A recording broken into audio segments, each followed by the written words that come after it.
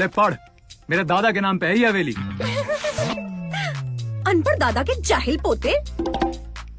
तू पढ़। ओ लड़की बाप पे मत जाइयो।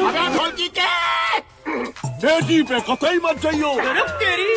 आप सोच रहे होंगे आ गई एक और पुश्तैनी लड़ाई की कहानी।